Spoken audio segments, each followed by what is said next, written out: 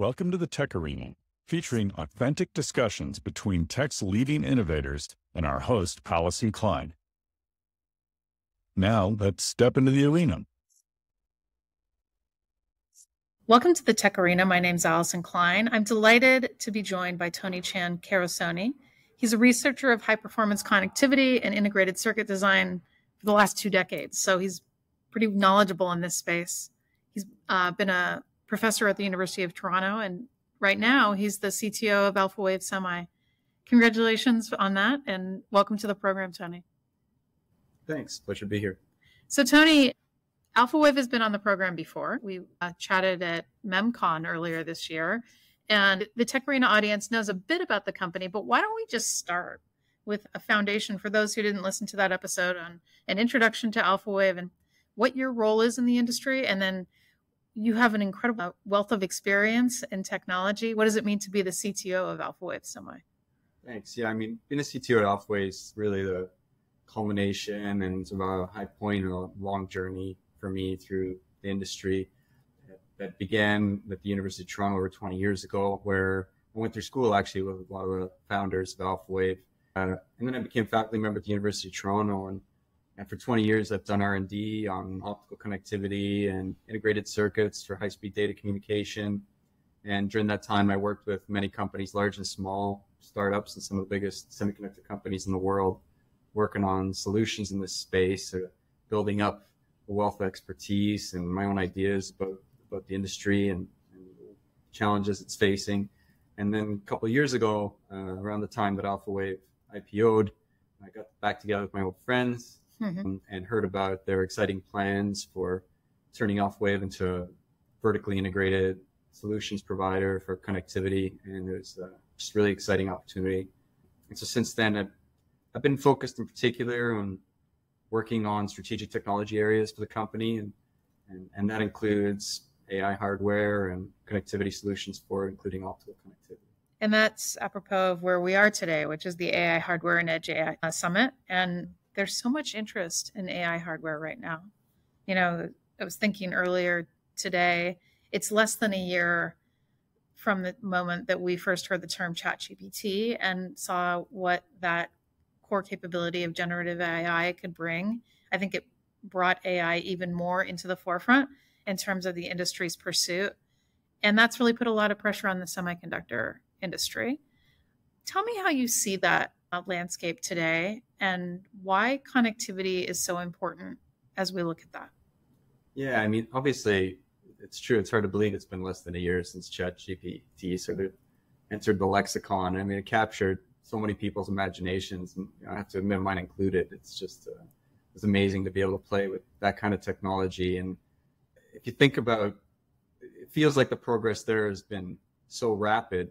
And, and the reason that's the case is because it's arisen out of our there was a lot of uh, ideas and foundational research was in place but then finally when hardware systems based on silicon became possible that can process these massive data sets that's really what's made the capability just moonshot so you could say that progress in a sense is written on the back of CMOS technology scaling following Moore's law mm-hmm. um, for a long time which you know, is exponential uh, in its own its own way um, now, of course, there's also been progress on software and, and as well as new hardware architectures. You know, there's been transition from use of general purpose CPUs to GPUs and now dedicated hardware accelerators for AI. So all this progress on the hardware side now is just we're finally able to see it, the amazing things it can do.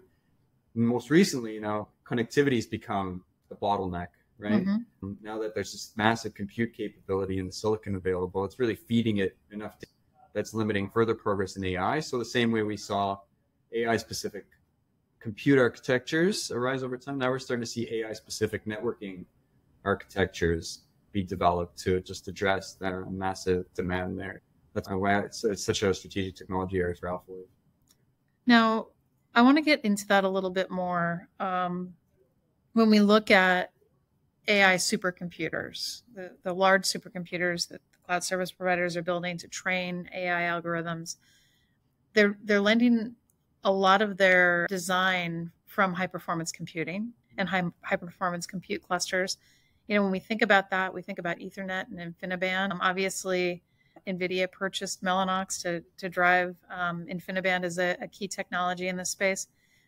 AlphaWave obviously has an IP portfolio in here, and you're an optical expert. So I wanted to ask you what characterizes an AI connectivity solution, and what are the key things that people are looking for there?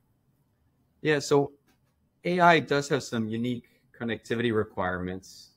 And what's interesting is that for a long time, AI and, and connectivity technologies used for AI were piggybacking on all the significant amount of R&D that was going on to support uh, networking infrastructure for data centers, mm-hmm. which has progressed on a pretty, pretty rapid cadence over the last decade or so, data rates doubling every two to three years. Mm-hmm.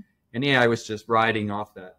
But what we're seeing is that the demand for connectivity in AI is increasing even faster than that now. Um, and so AI is overtaking the uh, data center networking as the main driver behind the development of new connectivity technologies. So we're going to see now AI be the leader in terms of driving investment in new connectivity technologies, and everything else will have to piggyback on it.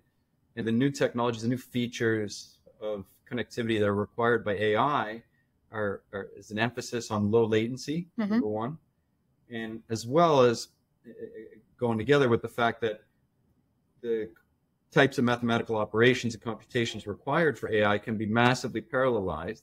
So we want to spread the training jobs over hundreds, thousands, tens of thousands even of processors and accelerators in parallel and have them all be able to fetch memory from each other and that, uh, over really low latency. So you get this combination of massive bandwidth requirement over really low latency and over longer physical distances because you've just got thousands of these things, right? Mm-hmm. Um, so that's a real that that combination, that trifecta combination, is really the unique thing that's driving everything from new types of error control coding and the physical layer, uh, all the way up to different networking topologies, flatter network architectures with higher radix switches so that data can get from one processor to another by going through fewer hops and therefore lower latency, right? It's driving all these innovations at all layers of the, the stack.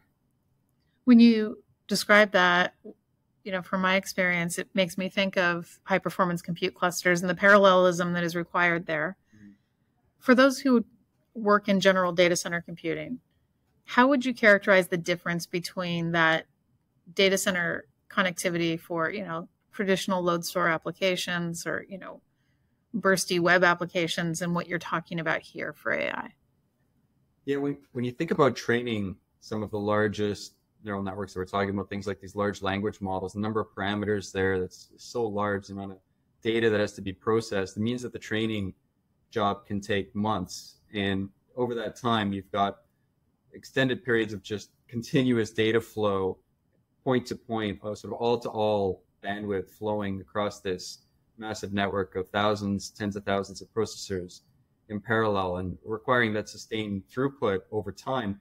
And any and, and because there's so much investment in those those processors, each unit may cost thousands, tens of thousands of dollars, and having them sit around waiting for data to show up just represents a, a massive cost, massive investment that's not being efficiently used. You know, Meta uh, came out with a study, I think it was at OCP last year, where they sh- they looked at their own internal hardware and showed that uh, for some workloads, 20, 30, 40, even 50% of the time for some workloads, the, the hardware is just sitting there waiting for the networking mm-hmm. to do its thing. And so when you're talking about the, that, the scale of the job, the scale of the investment in the hardware to run the jobs, there's there's so much wasted uh, equipment sitting around that it's really justifies massive investment on the connectivity side to prevent it from becoming a bottleneck. Mm-hmm. Another technology that's talked a lot about in this space is chiplets. Um, and this is an area where AlphaWave is a huge player. Um, how can chiplets enable AI, and, and, what are your plans in this direction? Yeah, there's, there's a number of ways that chiplets are really a key enabler for future AI computing. First of all, we want to be able to, there's a desire in AI compute to just pack as many of these cores as possible onto a, onto a die.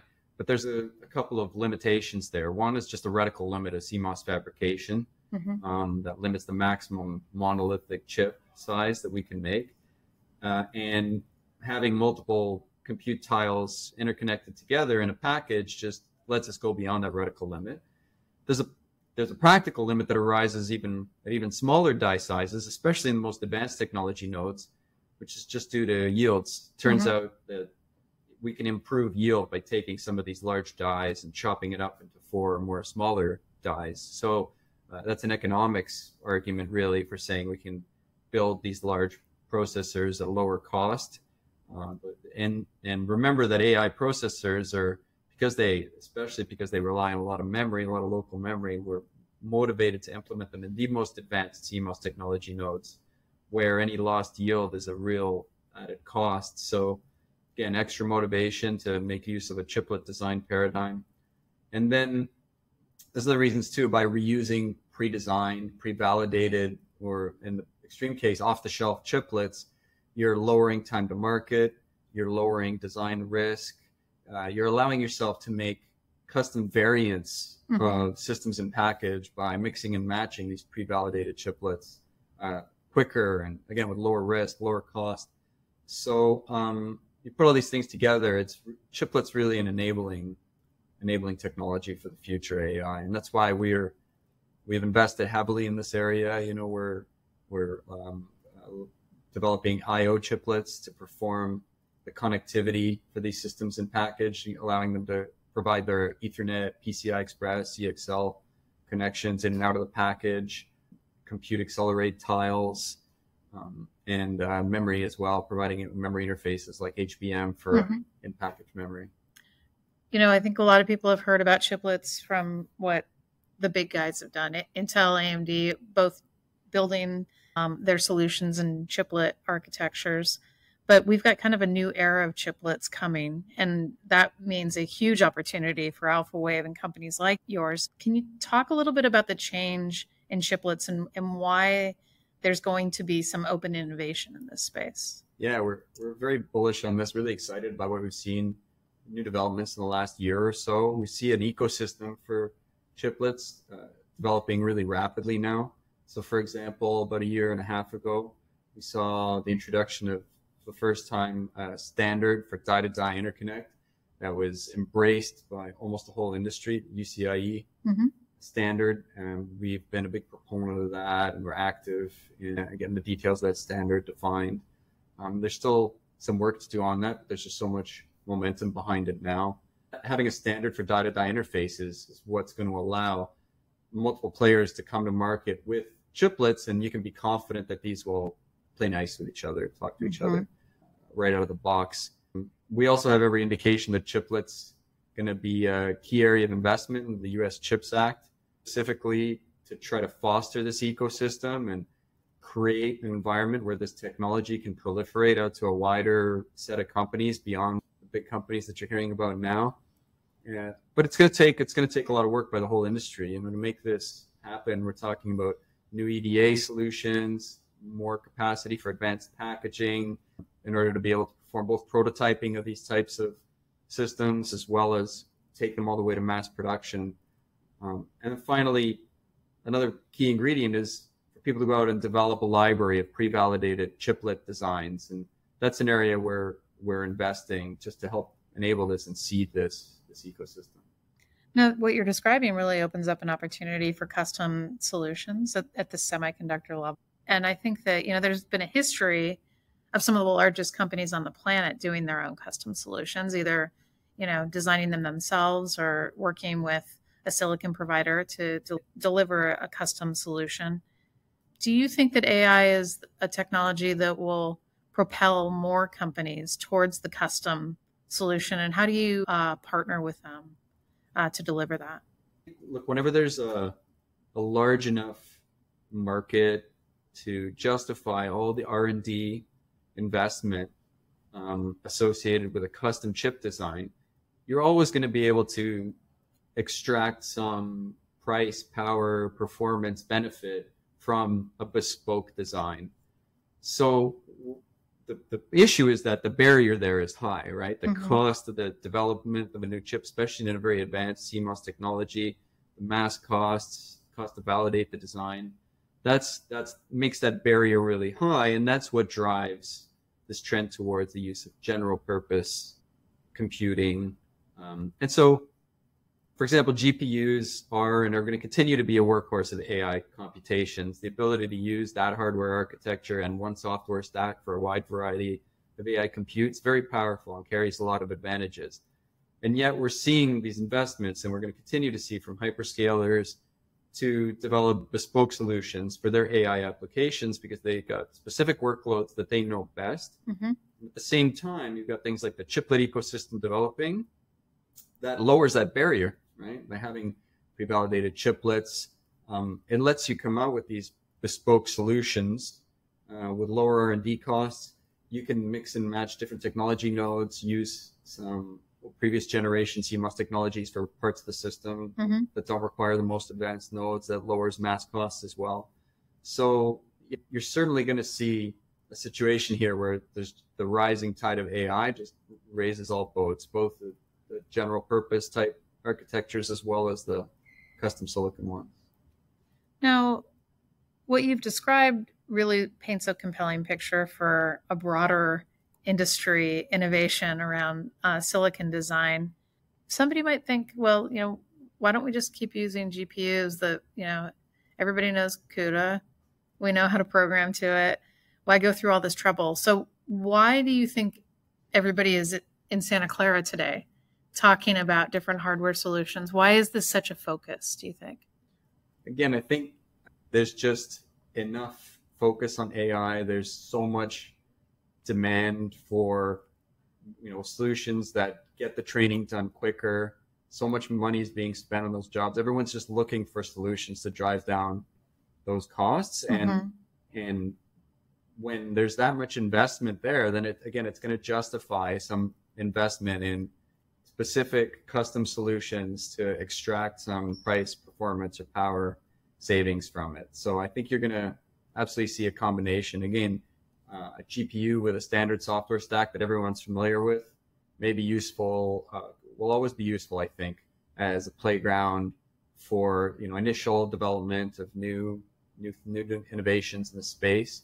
But then once you've got a need for just running a ton of training on a specific architecture, a specific software uh, workload, mm-hmm. then there's just going to be too much incentive to to develop a, a, custom architecture not to for people not to take it. You mentioned cost. Um, another thing that's been a theme at the conference is energy.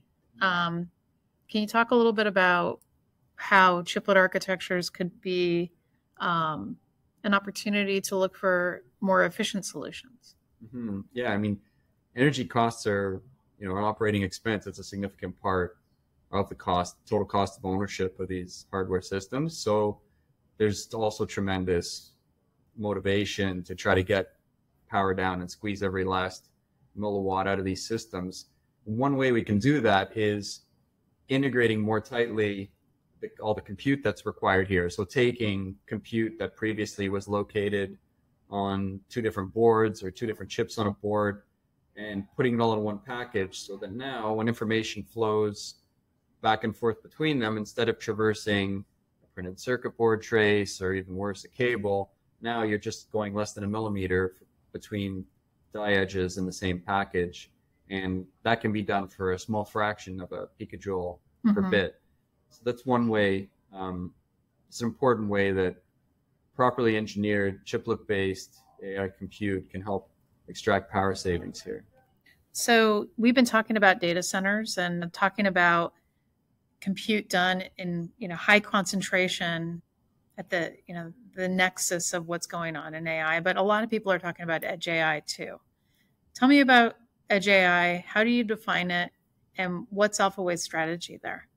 Yeah, edge AI is this funny term because I think it means different things to different people. I think the commonly understood meaning of edge AI is some basic inference tasks that are performed by your phone in your hand or by some voice recognition device somewhere in your home.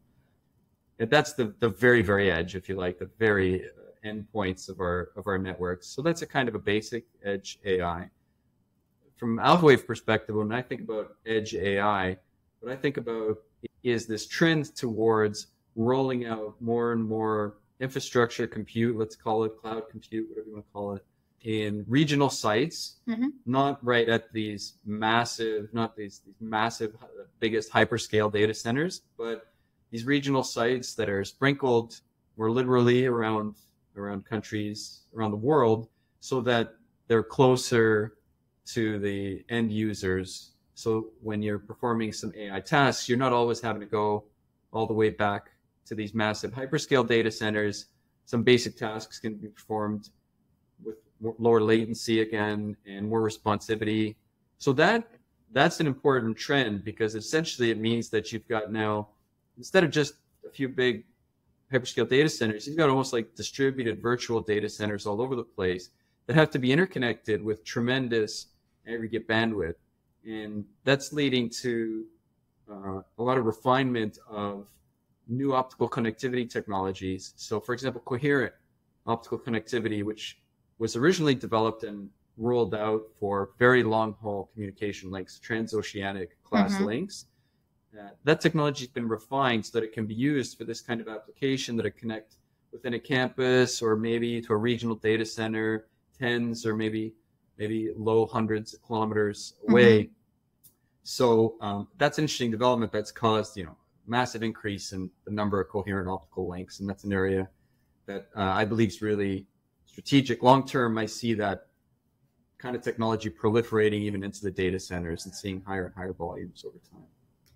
You know, I think that one of the things that I've learned is that uh, we have incredible opportunity for silicon innovation at this moment. I've never seen any. I've spent tw- over 20 years in the silicon arena. I've, I've never seen a moment like this in terms of opportunity for the industry to come together and innovate. When you think about Alphawave, and you just talked about why you joined the company a few minutes ago, why do you think that you've got the right formula for growth? And what do you think sets you apart? What I'm what I'm really excited that we've been able to create now is, is a vertically integrated semiconductor company where we provide connectivity, like industry leading connectivity, silicon IP solutions for our customers, whether it's for Ethernet, PCI Express, CXL, some of these die to die interfaces. We also work with customers to provide custom silicon solutions that can leverage that industry leading connectivity IP. Mm-hmm. We can go right from the spec all the way to silicon products. That can be in the form of a fully packaged chip, taking advantage of advanced two and a half D 3D packaging or, or a chiplet, right? Just developing mm-hmm. a custom chiplet to enable, as I said, this broader ecosystem, more and more players to participate there. And then even all the way to our own standard products that can serve connectivity demands both over optical and electrical links inside data centers. It's just the ability to leverage our industry leading connectivity solutions across this the full spectrum of solutions allows us the flexibility to work with some of the biggest players in the AI mm-hmm. and, and, meet them wherever they're at. Uh, you know, help them solve problems in whatever way makes most sense, whether it's again IP licensing, standard products, custom silicon, anything in between. So, but that's what I think is uh, is really exciting about this point in time for us. Tony, it's been a pleasure talking to you today. Um, I loved what you said about where you guys are focused. I can't wait to hear more where can folks go to learn more about Alpha Wave Semi and what you're delivering to the market and to engage with your team?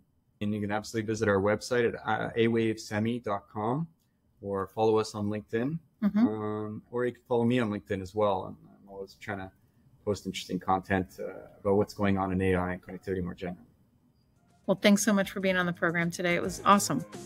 Thanks very much for having me. Thanks for joining the Tech Arena.